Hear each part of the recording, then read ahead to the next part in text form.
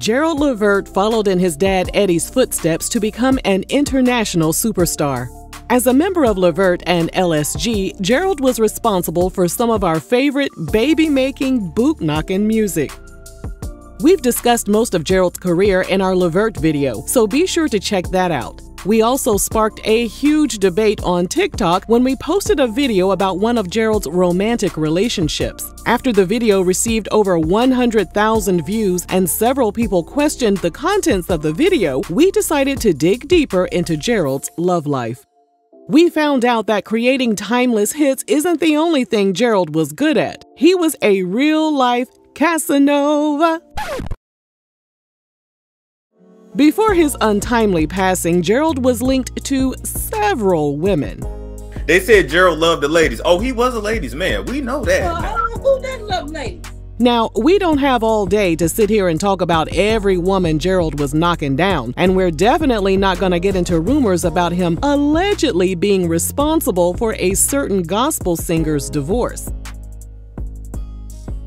So, if we fail to mention the brief romance he had with your auntie's cousin's neighbor's best friend back in 1984, just keep in mind that we're under time constraints and we'll only be discussing his significant and publicized relationships. And you know what? I don't know who these heifers are talking to Gerald, but I'm cut them. I will cut that heifer. I will cut her. I will snatch every braid out. But before we get into all the twists and turns of his love life, be sure to scoop up something to munch on at rrgsnacks.com, our online concession stand that has an assortment of turkey, beef, and bacon jerky, buffalo wing popcorn, and butter toffee peanuts. In the memoir he co wrote with his dad, which we've linked for you in the description box, Gerald describes his perfect woman. He liked a woman that kept her nails done, hair done, everything did and someone who kept themselves in shape because it showed that she respected herself. As for his favorite body part, Gerald wrote that he loved him some lips. He added, They're great for kissing, licking, biting, and sucking. Talking before, during, and after making love is great too. He loved bubble baths and showers for two, lights on or lights off. Music playing in the background was okay as long as it wasn't one of his dad's songs. And the most romantic thing a woman could ask him was, Are you okay? Because it showed that she really cared about him. Gerald and Kym Whitley met during childhood since they grew up in the same neighborhood in Shaker Heights, Ohio. Though they were friends most of the time, they eventually started dating, and Kym described him as her first true love. According to Kym, she was the inspiration behind Levert's 1988 song Addicted to You. As they got closer, her mom and dad told her she wasn't allowed to date a musician, but Kym ignored them and followed her heart. Gerald permitted her to go to Hollywood to pursue her dream of becoming an actress and comedian, but he told her if she wanted to be with him, there could only be one star in their relationship. Gerald expected his woman to be a homemaker, just like his mom was. And so he and Kym broke up several times and were on again, off again, but they remained close friends. I'm gonna cut him. I don't care about the party. She in his face. They're a little too close to him. Excuse me. I don't try to be rude. But you, no, no, no. I don't want to take no picture. But you need to back up. You in his personal space. Y'all back up. Y'all too close to him. According to Kym, years down the road, Mo'Nique wanted to shoot her shot at Gerald, and she asked Kym for her blessing. And Kym agreed. He would always tell the story about how he got drunk at your house one night and you locked the gates and wouldn't let him leave or something like that. And and so Whatever was happening with Mo'Nique and Gerald didn't work out either, but they also remained friends. Kym told TV One that she and Gerald made a pact that if they both weren't married by the time they turned 50, they'd marry each other. With Kym being five years older, we're not sure if they were waiting until he turned 50 or until she turned 50. But sadly, Gerald didn't make it to see his 50th birthday. Now, let's go back to the mid to late 80s when Gerald met R&B singer Miki Howard. Miki told our friend Storm Monroe that Gerald was cute and nice. He came from a family of Jehovah's Witnesses, and Miki was studying to be a Jehovah's Witness as well, so they bonded over their faith. Their romantic relationship started first, and then they started making music together, including the 1987 song That's What Love Is. Best friends that turned into lovers. Okay, that's oh, yeah, natural. we wrote songs together. I mean, we ah, we was first. Then we turned into good friends. We turned into like good work, work, work husband and wife. You know. Miki was all about Gerald, but there were too many people in his ear telling him to leave her alone. During Gerald's Unsung episode, Miki said some people had a problem with her being a mother of two, and they begged Gerald not to marry her. Eventually, Gerald also started making comments to her, such as, I don't want a ready made family.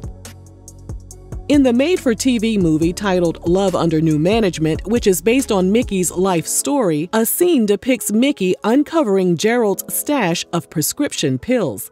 When he's asked about the medication, he explains what each one is for and tells Miki there's nothing to worry about. In the next scene, Miki wakes up in the middle of the night and finds Gerald passed out on the bathroom floor. Thankfully, she was able to wake him up.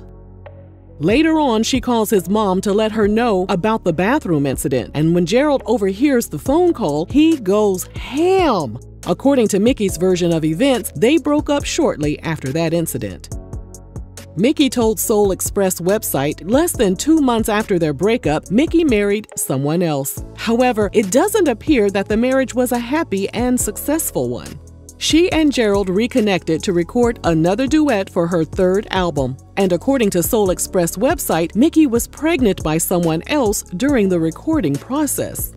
She and Gerald stayed in each other's lives. Miki also confirmed what Kym previously spilled that Gerald wanted a woman who would stay at home. Miki said he wanted to be with someone who was like his mom, and he encouraged Miki to be a traditional woman rather than a woman of the world. So while he and Kym were still in contact and he and Miki had whatever going on, Gerald was out and about and gyrating on and off the stage. Everyone was in love with Gerald, who was affectionately known as Teddy Bear. It wasn't uncommon for the stage to be littered with granny panties during his performances.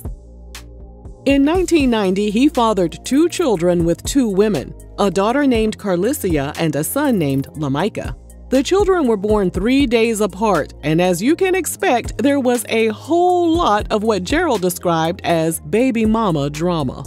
Kym was still as supportive as ever, especially when he would call to vent about his children's mothers and his girlfriends. In an episode of her podcast, Kym stated Gerald even got engaged at one point, and he would always call Kym to complain about his fiance. Unfortunately, we can't confirm his fiance's identity. And of course, Miki wasn't too far away either. She told Storm Monroe that they would see each other whenever either one of them was in town. She also implied that their situationship was on a don't ask, don't tell basis. Her kids and his kids would all hang out together and have a good time. Miki also fell in love with the mothers of his children. I love all of the mothers of his children. Uh, he picked some really fine women that are strong, integrity, and really nice women that uh, I love them. I do. Gerald continued falling for temptation on and off the road and fathered his third child, Cameron, in 1998. Now, let's fast forward to 2002. Gerald released his album The G Spot, and the music video for his song Funny included Karrine Steffans as his love interest. Now, many of you know how Karrine got the nickname Superhead. However, we're unsure if she and Gerald had a little something something going on during the time of the video shoot. In February 2003, Gerald met singer and songwriter Kandi Burruss of Xscape. Aside from her busy career, Kandi was also raising her daughter, Riley, who was six months old at the time. Kandi and Gerald had a very close and deep relationship. The same year they met, they even co wrote a song together called It's You. In the lyrics, they reveal the dynamics of their relationship. In her verse, Kandi sings about loving his stank, cocky attitude. She also describes how she admires the way he shows love to her child.